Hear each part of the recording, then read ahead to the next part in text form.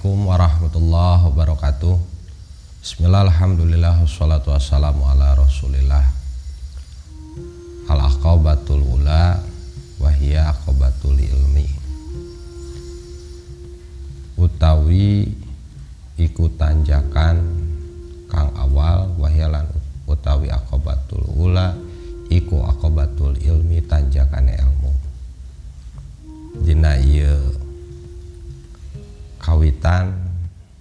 bagian tina ngambahna hiji abdi di jalan akhirat. Tegas udag rahmat pangapura oge kautamaan Allah subhanahu wa ta'ala. Anu pangheula-heulana perlu anu dilalui ku si abdi teh nyata disingharupkeunana tanjakan ilmu mana eta tanjakan ilmu kudu bisa ditempuhna. Pakulu mangka ngucap ingsun wabillahi lan iku tetep kalawan Allah atau piku utawi pertulungan. Ya tolibal kholasi hai wong kang nyuprih ikhlas wal ibadati lan ibadah alaikan tepi siro awalan ing dalam kawitane wafaqau wafakoka muga-muga maparinan taufik ing sira sapa Allah Allah bil ilmi kalawan ilmu. Fa innahu mangka satuhune ilmu iku al qutbu pokok walaihi lan iku tetep ing atase ilmu al midaru utawi pokok. Mangkang ucap kaula di dia musonib tetep nah kalawan Allah Subhanahu wa taala pertulungan hai jalma anu nyuprih ikhlas jeung ibadah kudu nyicinganana anjeun dina mimitianana rek lempang dina jalan ibadah ka Gusti Allah Subhanahu wa taala. Muga-muga maparinan pertulungan Allah keanjen kalawan ilmu naon sababna? Sabab sanyana ilmu mangrupikeun khutbu wa alaihil midar. Anu ngajadikeun pokok. Pikeun ngambahna hiji abdi lempang di jalan Allah Subhanahu wa taala ilmu.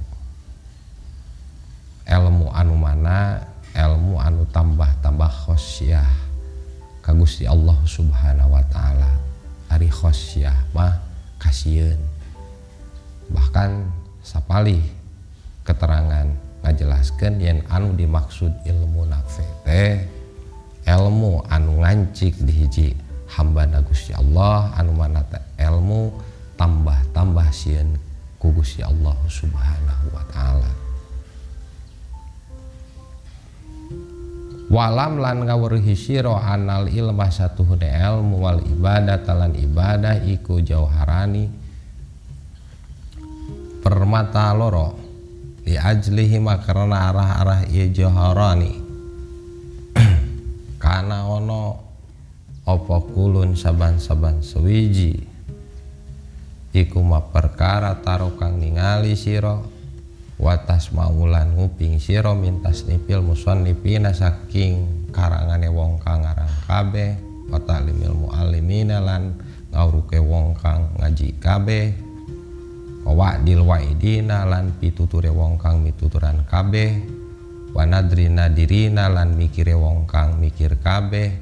Bali ajli hima balikta karena arah-arah iya ilmu lan ibadah. Unzilat dan turunakan opal kutubu piro-piro kitab. Wa ursilat lan den utus opal rusulu piro-piro utusan. Bali ajli hima balikta karena arahnya ilmu lan ibadah khuliqat dan damal opah sama watu tujuh lapis langit wal ardilan tujuh lapis bumi wamalan perkara pihina. Kang tetep ing dalam ia tujuh lapis langit lan tujuh lapis bumi minal khalki saking makhluk. Jantan dina ibarat nerangkeun yen sanyana ilmu sarang ibadah teh mangrupikeun dua inten. Karena arah-arah dua iya permata dua inten teh buktos saban-saban perkara.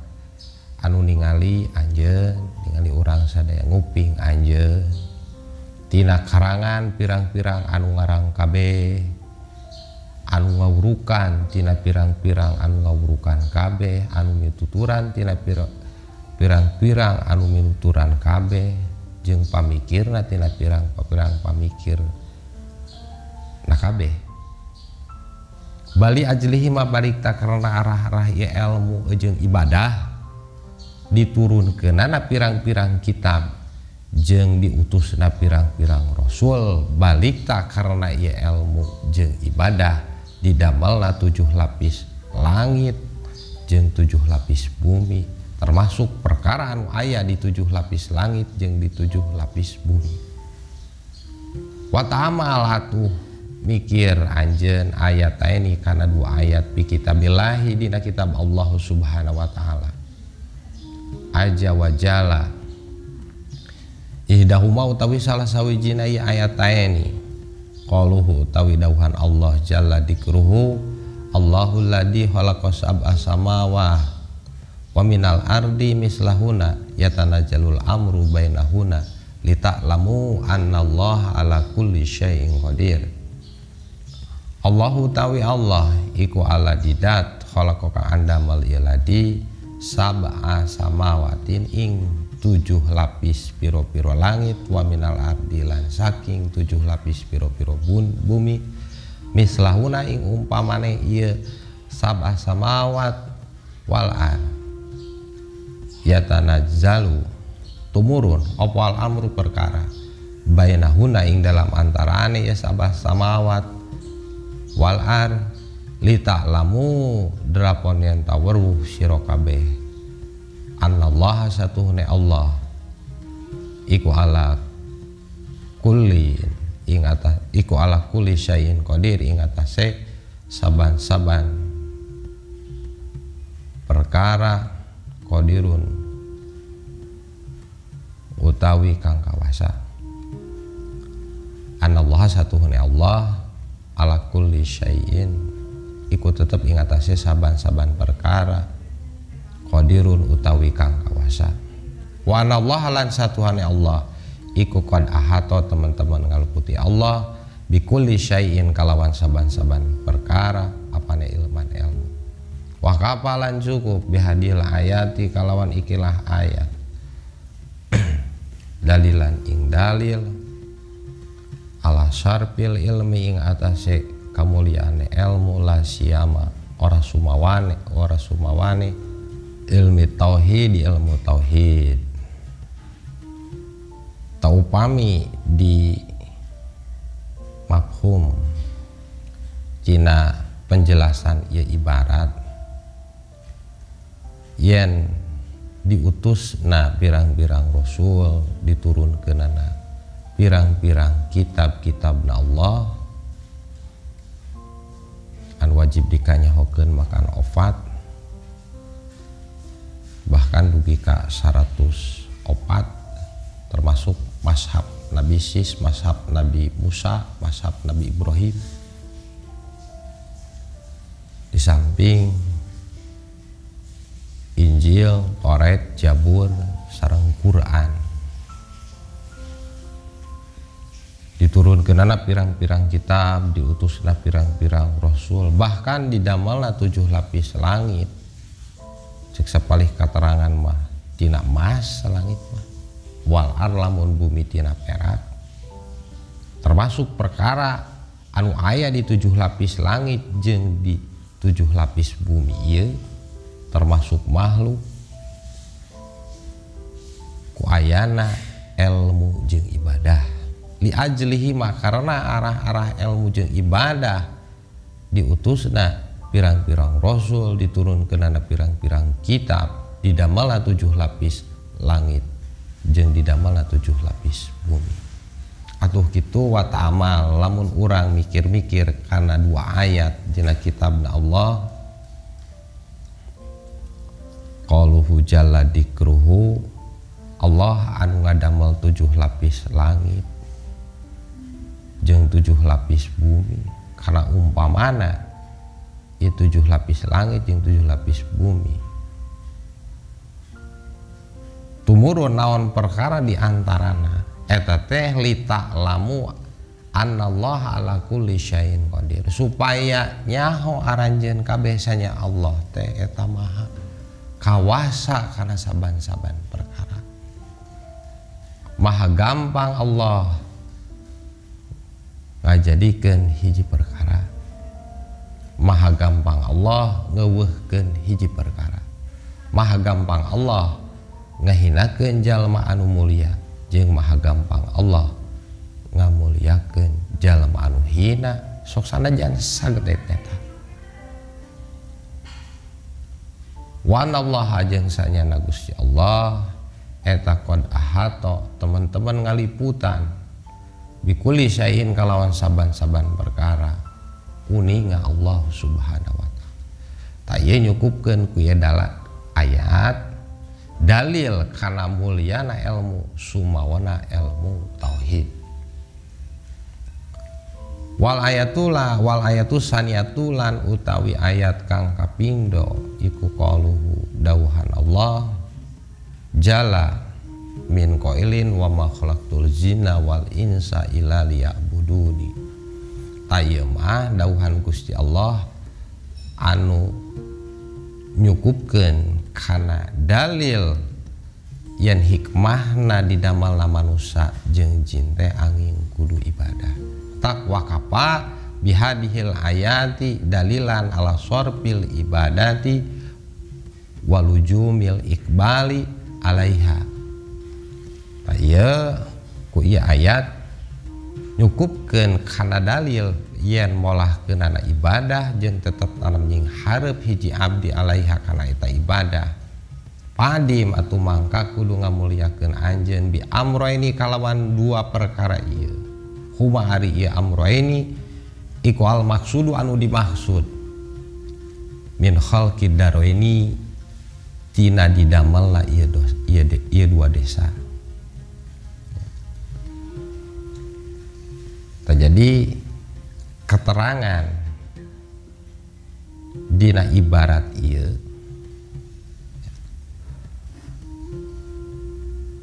yen maksudna didamel dua desa boh desa dunia boh desa akhirat karena ayana ilmu jeng ibadah. Dah cacak-cacak lamun daya ilmu jeng ibadah tak dua ayat ya nuduhkan itu bahkan sor musonib di dia cukup kedua ayat iya tina keutamaan anak ilmu jeng ibadah bahkan huma al maksudu min khalqid ini anu dimaksud didamelna dua desa ieu pahako atuh mangkang hak lil abdi pikeun abdi ayah stagila. Karena ulah katungkul si abdi illa bihima kecuali kalawan ia ilmu jeng ibadah. Walayat aba jeng ulah capek si abdi ilalahuma kecuali ku ilmu jeng ibadah. Walayang duru jeng ulah mikir si abdi ila pihima angin kecuali dina ilmu jeng ibadah naon sabab nawalam cek musonib didi dijelaskan kanya hoken ku anjen ana masanya na perkara si wahuma salian ilmu jeng ibadah minal umuri saking piro-piro perkara batilun batir. La khoero hente aya alus pihi dina eta umur walagun jeung herai lah hasilah hente aya hasil eta anu bukti. Lahu kana eta umur paida alim ta mangka di mana anjenya dalika karena ketentuan-ketentuan disebut yang saknyana maksud di damela ieu dua desa desa dunia jeng akhirat. Henteu aya angin kulantaran ilmu jeng ibadah. Bahkan di disebutkan saknyana perkara salianti ilmu jeng ibadah tina pirang-pirang perkara batil Boga mobil termaksud ibadah batil Boga imah termaksud ibadah batil Boga pamajikan termaksud ibadah batil Boga harta termaksud ibadah batil lah khairoh aya alus. Pihi dina eta perkara. Kaheureyan lah hasil anu aya hasil. Mangka ku sabab urang geus nyaho. Faklam mangka kanyahokeun ku anjeun anal ilmah sanyana ilmu eta asraful jauhara ini tinupang lewih-lewih mulia na dua permata. Wa afdaluhuma jeung anu pang utama-utamana. Tina eta jauhara ini. Walidalika qala nabi sallallahu alaihi wasallam. Mudah-mudahan di kesimpulan tina maksad ibarat anu tertera dina kitab bin Hajul Abidin iya yen sanyana hakikat tadi damalna dua desa iya.